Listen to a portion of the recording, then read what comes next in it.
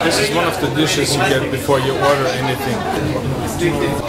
Macaroni and green stuff. Um, very tasty. And I've ordered raw sea urchin, my very first time. And uh, I actually don't remember what I ordered second. Uh, I'll show you soon.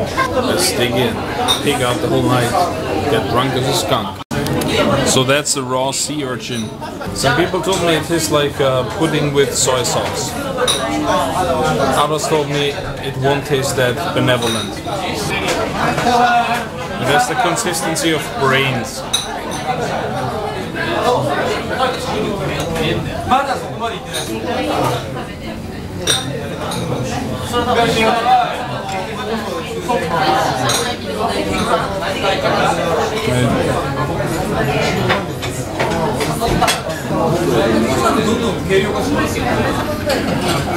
い。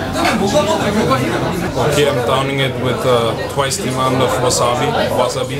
Although I don't like spicy food, but believe me, going spicy is a lot better than going sea urchin raw without anything. Believe me. I thought I'm gonna throw up right there in, the izakaya. Luckily, I didn't. Dried squid, which is something I totally love. Chewy and delicious. Charbroiled. And much better things. Mm.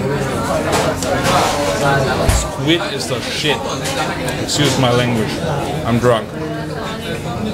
And I'm in Japan. And I'm drunk.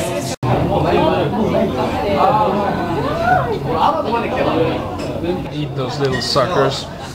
And I have to say, I'm a guy, I'm not really into fish food, into seafood.